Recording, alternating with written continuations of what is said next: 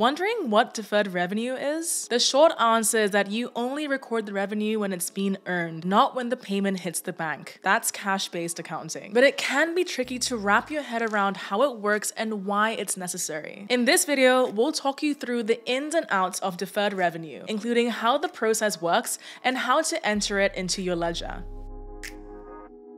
Deferred revenue is money that you receive for a future product or service. When you receive the payment, you add it to the balance sheet. The payment stays here until you deliver the product or service. Then it moves to your income statement as actual revenue. Let's say you offer an annual subscription for a monthly magazine you're running. The customer pays for the year in advance. This is deferred revenue. When the final edition is delivered, their annual payment moves to your income statement and becomes revenue. In some industries and circles, deferred revenue is also called unearned revenue or prepaid revenue. How does deferred revenue work? Grab a spatula, we're taking a cooking class. Robbie is the head chef and owner of an Italian restaurant. On top of cooking and serving delicious food, he also runs cooking classes. To book a cooking class with Robbie, a customer signs up and pays $100 for the session. The money immediately hits Robbie's bank account, but the cooking class does not take place until next month. So how does Robbie record this money? He records it as deferred revenue. Because the cooking class hasn't happened yet, Robbie can't add the money into his income statement. He's using accrual accounting, which means he only recognizes revenue when it's earned. So he adds the payment to his balance sheet. That way, it stays away from the income statement, but he's still tracking it. Here's what that will look like. On this balance sheet, Robbie records the $100 of cash from the payment. It sits in the debit column as the money is in the bank account. He also records the $100 of unearned revenue as credit. The next month rolls around and Robbie delivers his cooking class. Now he can move his deferred revenue into his income statement. It will look something like this. So how does deferred revenue work if you're splitting payments over different accounting periods? Let's say a customer pays $400 to have four cooking classes with Robbie. Two will take place next month and the other two will take place the following month. Payments for these classes are deferred revenue, so Robbie adds them to his balance sheet. But two of the cooking classes take place in a different account period. What happens when half of the classes are complete but the other half aren't? In this situation, Robbie moves half of the payments from his balance sheet to his income statement after the first two classes. Balance sheet will look like this. While his income statement will look like this.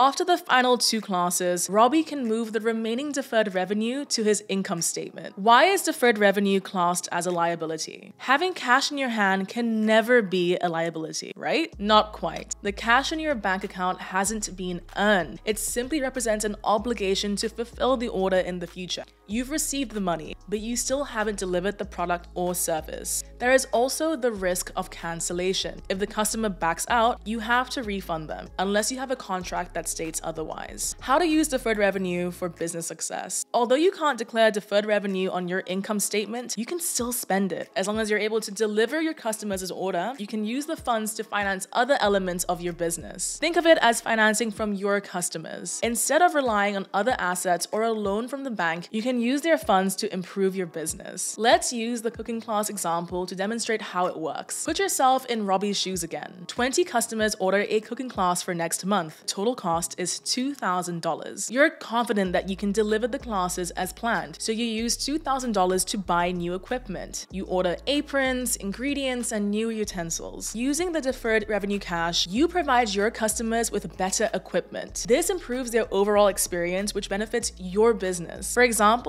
these customers are more likely to leave a good review online or recommend you to their friends and family. But remember, you should only spend deferred revenue if you can still deliver the product or service. If there's any doubt that spending the money will impact delivery, don't do it. To accurately evaluate your finances with deferred revenue, you create an accurate representation of your financial position. You're matching your income to when you earned it, which means you can better understand your profitability within an accounting period. For example, let's say you receive receive payments for a cooking class, but you're not running it until three months from now. This means that your profits are reflected in your income statement three months later, not today. As a result, you can efficiently manage your money. By adding deferred revenue to your balance sheet, you can also avoid declaring unearned income. This gives you a clear picture of current revenue and gives an accurate representation of your company's worth. To track your deferred revenue and manage your income, consider using Chargebee. Our subscription management platform helps you manage your finances and streamline your operations from a central location. Plus, you can automate revenue recognition so you can spend less time in manual finance systems, which are prone to human error, and more time to growing your business. Click the link in this video to sign up for a demo and see how it works. Thanks for watching this video about deferred revenue. We hope you found it useful. Subscribe to our channel for more educational videos for SaaS and subscription businesses. We'll see you in the next one.